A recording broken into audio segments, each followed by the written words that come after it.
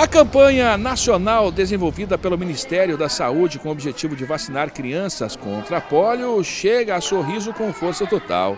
No sábado passado, tivemos a realização do Dia D contra a doença.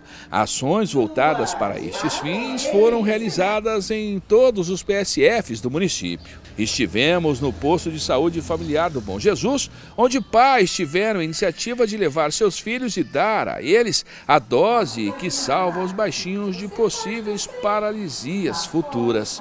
Para deixar as crianças mais à vontade, foi ofertado pinturas faciais, distribuição de doces e balões para os baixinhos.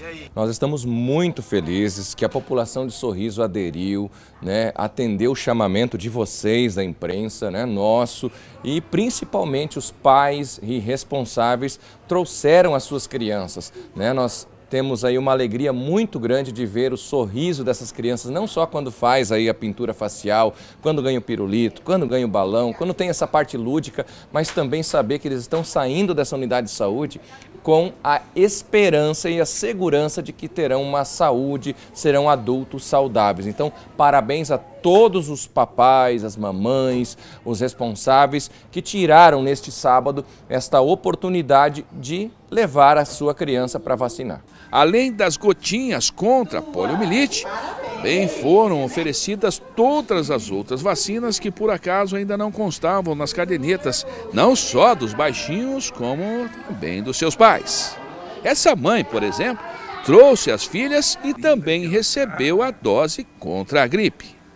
A gente veio, né, porque a gente sabe da importância das vacinas, né? Então o pessoal não pode deixar de vir vacinar as crianças, se vacinar contra a gripe também, né? É muito importante. Vale a pena ressaltar que as doses continuam à disposição da sociedade em todos os PSFs desse município.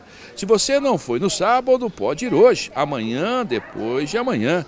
Importante é que você se proteja. Nós, é, não é porque neste sábado nós fizemos a campanha que não tem como aquele que porventura, por acaso, não pôde vir, vou aceitar aqui a desculpa, tá? Mas não teria desculpa. Nós abrimos 19 postos de saúde em todos os cantos da cidade, das 8 da manhã às 5 da tarde, sem fechar para o almoço, para ninguém ter desculpa. Mas vai que alguém não conseguiu, Durante a semana é só procurar o posto de saúde mais próximo da sua casa que a campanha permanece.